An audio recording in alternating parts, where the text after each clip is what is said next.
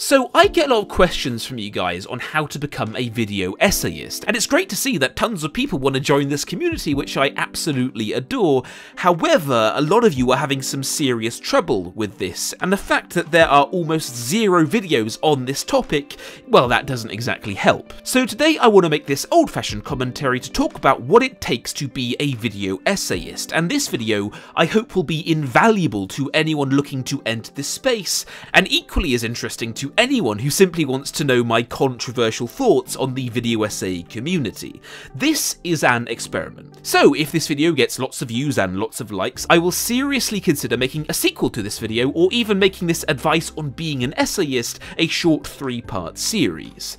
But anyway, cutting to it, I want to start with the most important thing when it comes to being an essayist. Because I have a major gripe with a lot of people in the video essay community. That's right, call up Killer Keemstar, get your pitchforks nice and sharp, because we're about to start some drama up in here. Uh, okay, I'm not actually starting drama, but I do have a pretty major gripe with the video essay community. But why should I say it when Patrick H. Willems has already said that for me? And over the course of the year, I made more and more of these, and as I looked around YouTube, I realized how boring I find most video essays, including my own. YouTube is saturated with them now, and it seems like every 20 something dude with a Blu ray copy of The Dark Knight wants to get in on the fun. And there are plenty of people doing great work, but since so many of us are using the same format, it's easy for them all to blur together. This is the number one problem essayists face, and it is a critical point of the most pivotal importance that if you do not address it, you will blur into the murky background with so many other essayists out there, and you will never be anyone's favourite creator. Now, at this point, I'm sure a lot of you think that what I'm going to say is the most important thing to being an essayist is that you need to stand out. But I'm not going to say that because I've seen hundreds of YouTubers give out that advice. It's a cliche and frankly it triggers me every time I hear it because it isn't even a correct cliche. Saying you should stand out is like someone giving me the manuscript for their novel, me reading it, and then me giving the feedback. Hmm, alright. Basically, right, what you need to do is you need to make your novel stand out more. Uh, yeah, can you elaborate on that?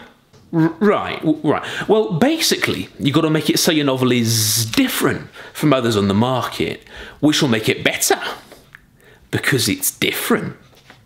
That is shit advice. Uh, I know, I uh, know, Henry's a very naughty boy, he's just said a swear, but it genuinely is piss poor advice because while it is mostly correct, and I'm not saying Patrick is wrong in that clip, in fact, I'm actually totally agreeing with him in that, but while it is hinting at what the creator should be doing, saying you should stand out is so vague, so unnecessarily, painfully vague, that it could do more harm than good, as it might convince the creator that he has to reinvent the wheel in order to stand out, which of course he shouldn't, because here is the real number one tip I can give you when it comes to not just being an essayist, but being a creator in general. Find a way of creating videos that only you can pull off, or in layman's terms, find your voice. Now, what makes for a voice? How do I go about finding one? Are there specific things I can do to find it? All of those are good questions to ask, and all of which we'll get to later. But before I talk about creative voice, I want to tell you a story. One from my YouTube career, which has really been a mystery for a lot of you until this point, because I've never really talked about it, and I feel it perfectly summarises an incredibly important thing you need to know as an essayist. And well, what is it? I have a second channel. It's called Ruskie, and it's essentially the closer look but for video games, where I look at the craft of game making. And with this channel, I had an absolutely insane success. I launched this channel with two videos. The first, Why Fallout 4 Failed, is currently sitting at 1 million views, and the second, The Day DayZ Died, is currently at 1.3 million views. Bear in mind that when I started this channel, the closer look was at around maybe 90,000 subscribers, and of those 90 90,000, I think about 1,000 actually subscribe to this channel. So these videos, the mad success, if you discount those thousand or so people who subbed at the beginning, this success was almost completely independent of the closer look, which I'm very chuffed with. But for pretty much most people out there who dream about being a YouTuber, this is the good life. This is the goal they strive so hard to achieve. But as you can see, I haven't uploaded onto this channel in over 10 months. I have effectively abandoned it. And this is something I get a lot of questions about as to why. Why I basically threw away this insane success, because for many people, this is like getting a winning lottery ticket, then throwing it into a fire and never cashing it in. To be honest, there are a lot of reasons as to why. I mean, I'm working on my novels and this channel and running another YouTube channel as well, that's a lot of work for just one guy. But honestly, the big one, the heaviest straw on the camel's back, I have no idea how video games work.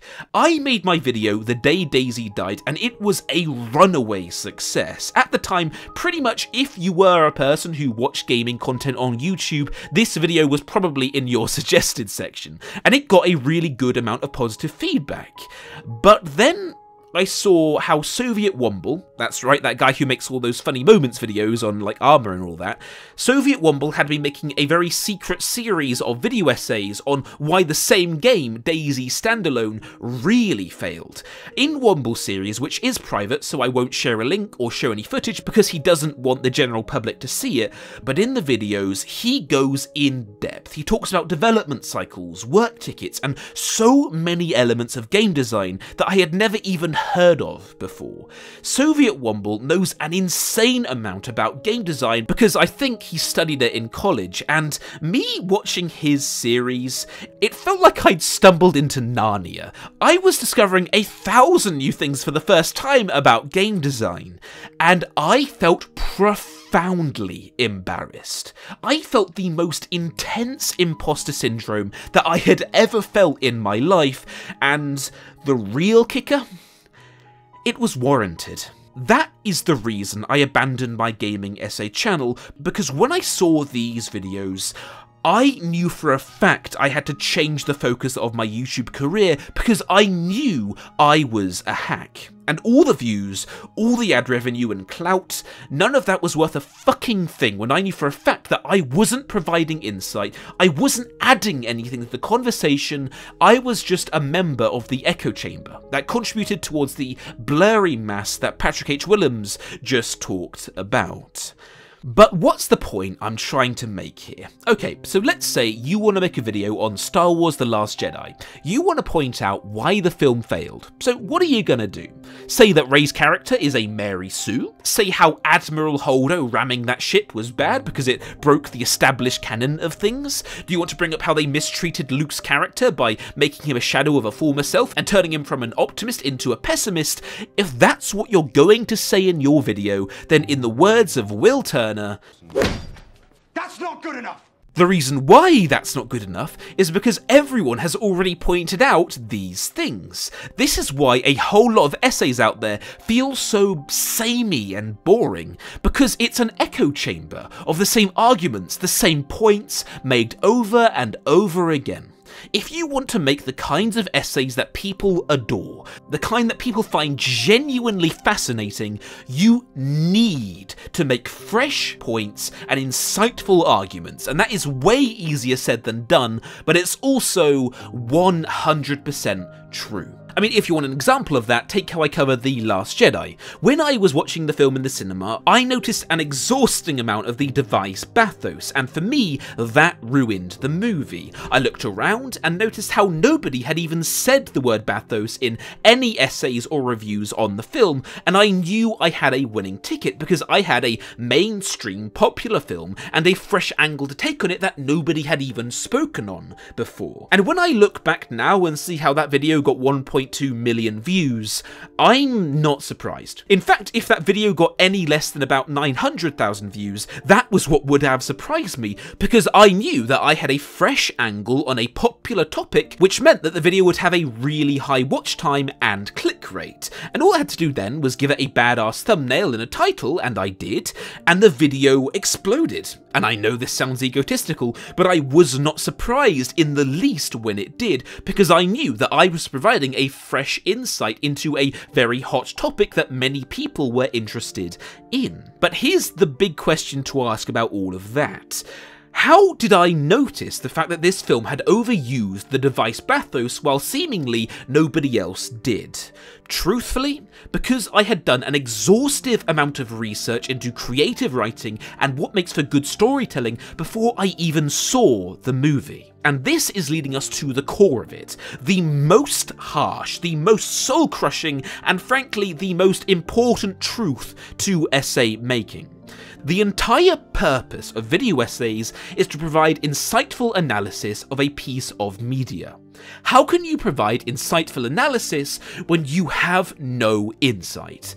Those were the very thoughts that made me quit my second channel, and frankly, as far as I'm concerned, if you know nothing more about a topic than the average Joe, you should not be making video essays on that topic. That is the core of it. That is the reason why most essays feel so samey and boring, because a lot of essayists, they don't do the legwork. They don't study the material. Their entire research cycle is to watch other essayists, absorb their points, and then just use them in their own videos. And before you know it, everyone's copying ideas off of each other, and before you know it, almost every last video is the same.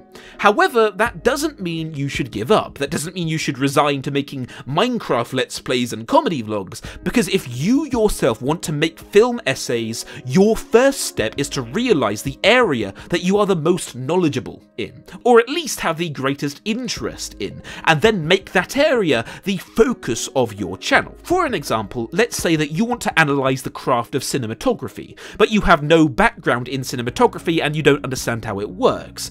Well, here's what you do. You take an educational course in filmmaking, you read books on the topic, you make it your mission to become a total and complete expert in the field of cinematography, until you know a whole wealth of knowledge that even people in the know do not know. And then you carry on learning. And then you bring that knowledge front and center and use it in your videos. This is a quest that you will never complete because it is impossible to become a total expert in anything. But just because something is impossible, that doesn't mean it's not worth trying to obtain.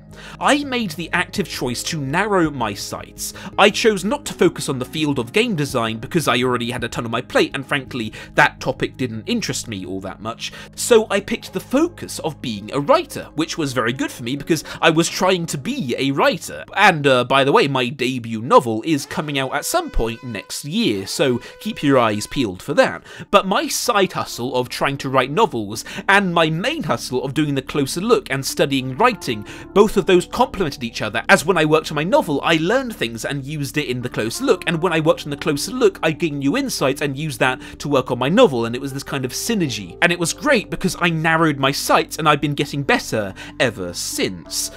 Creative writing, I am trying very hard to make that my speciality, and so you'll notice that in most of my videos, they're written from a writer's perspective because that's the area I have a ton of experience in. I like to think that in each of my video essays, I bring to light a little bit of knowledge or insight that my viewers didn't know before so they can then learn from it. And if you don't do that as an essayist, if you don't help people understand a topic in a way they never knew before, you are not a good essayist. That is unfortunately the plain and simple truth. And when it comes to writing essays, there aren't that many essayists in the community that take the focus of creative writing on movies, so I think that does work for my benefit and for my general appeal. And this goes for you. Not just the general viewer, you. If you are currently an essayist or you one day plan to be, you need to be always learning. This is not advice, this is not a guideline, this is a prerequisite always be listening to podcasts, always be reading books and watching lectures and broadening your knowledge around your specific niche. Because I guarantee you a huge chunk of that knowledge that you soak up will work its way into your videos, and your essays will be all the more insightful, interesting, and educational for it. But I promised at the start of this video that I was going to talk about finding your voice as an essayist, and I don't like to break my promises. So the truth is, each and every good essayist has their own voice. This may sound odd, but it's completely true. Different essayists have different perspectives they use to attack a subject. Give 10 different essayists the exact same topic, the same base idea for a video, and all 10 of them, if they have a strong, unique voice, would tackle it in an entirely different way. Nerdwriter, for example, has a way of delivering a script where he will pause and say things slowly to add emphasis on a word or set of words. Here's an example. But you can't just mine the source material for parts. Adaptations and remakes don't require strict adherence or obedience or even necessarily respect. Just an understanding of what made the original so powerful in the first place. And do you want to know what happens when you copy the voice of another creator? Well, it looks like this. If I had to pin down the singular reason why the film Logan surprised me so much, it would have to be its impressively small scale. Yeah, I'm pretty embarrassed when I look back on my older stuff, but when I was starting out, I saw the way Nerdwriter delivered his voiceover, and I consciously decided to imitate it when making my video Logan, the death of a genre, and I look back on it with shame. And my advice to you, for the love of God, don't do this. Do not steal the voices of creators wholesale, although it is fine to just copy little bits here and there and see if they work out well for you. I mean, how else are you going to improve your craft if you never experiment? But right now, for me, I think I've spent like seven years on YouTube. Uh, I think maybe like two, two and a half of those years being a video essayist, and in that time, I like to think that I've nailed down exactly what my voice is. I mean, you look at my recent video essays and you see that I'll pronounce everything in my way. And there aren't really any other essayists that cover topics in the same way I do. And that's basically that is your end goal. You want to be making essays in a way that only you can make. If you're making essays and you copy my style or anyone else's style, I won't hold it against you and neither will any of the other essayists because we're all very supportive in this community. I mean, after all, you can't trademark a style. But if you want to become your own standout creator, you don't just want to blend into the beigey background with a dozen others, you want to be unique and easily identifiable and the kind of person that I personally would drop everything when I see that you've uploaded because I want to watch your video if you want to achieve that, you need to discover your voice. Do you want to deliver your lines slowly in a low and calming voice, something like how Stories Like Old does it? Do you want to have your essays filled with snarky wit, where you combine interesting analysis with humour, like Lindsay Ellis does? Do you want to tackle it all from the perspective of a writer, where you don't put that much effort into motion graphics because when it comes to editing, you're extremely lazy? Like, me, for example. Um, do you want to be the kind of essayist who makes exclusively insert X film here is way worse than you remember, and here's why, and you do nothing but whinge and complain about how anyone who likes a thing is actually wrong in their opinion and they need to change it? I mean, I think there's already more than enough creators out there who take that angle on things. I, I'd probably argue that one is probably more than enough. But if that truly is your voice, if being that cynical whinger is genuinely true to who you are deep inside, then screw all the positive, analytical, Nerdwriter lessons from the screenplay, now you see it crap. You make those kinds of videos because that is the voice that fits you the best. If there is something the average viewer is a master at, it's noticing when someone is using a voice that doesn't fit them as a person. But the average viewer will pretty much never consciously realise, Hey, this guy stole Now You See It style. It's pretty much never that simple, but what the viewers will realise subconsciously is that your voice lacks synergy. A lot of newer creators make the mistake of thinking that finding your voice is like browsing the shelves of a supermarket. They'll say, oh, I like this one, oh, I like that one, and they will copy elements wholesale. Those creators are wrong. Finding a voice is more like browsing the ones at Ollivander's. You try and you fail. You try, you fail. You try again, you have a little success, but you still fail. You keep trying again and again, and after years of experimenting, you finally realize the exact kind of music you want, the thumbnail style, how you enunciate your sentences and do your research, and what angle you take on attacking a topic, and your personal content strategies for how you plan to grow in the algorithm. Assemble the toolkit that is the style that fits you the best. And the only true way to discover what you want to be in your toolkit is to just create. And the more you create, the more you experiment, the clearer of an idea you will have as to exactly the kind of person you are, the voice that fits you, and the brand and style you want to have in your videos. Anyway, I've rambled on for long enough, but if you found this video useful and you want me to make a few more just like this, where I might look at a different angle of creating video essays like editing or research or any of that stuff, please do leave a like and tell me in the comments that you want exactly that. And for those of you who aren't already in the club, please consider supporting me on Patreon. I only charge every time I upload, so pretty much you'll only get charged once every 500 years. But honestly, if you could, you'd be directly supporting me so I can create more videos, and even if you can only spare the loose change of $1, that's $1 more in my income at the end of the month. And when people do that in a group, that number adds up to something considerable. I am currently recording this in my bedroom at my mum's house, so I kind of need the funds to move out, so please help me. Um, you, but basically, I really want to move out, so like my mum stops reminding me, "Oh, oh, oh, Henry, this isn't a hotel." You know, she, you know, she'll remind me it isn't a hotel, despite the fact that you know I, I'm actually paying rent and I'm doing all of the chores around the house that she asks me to do.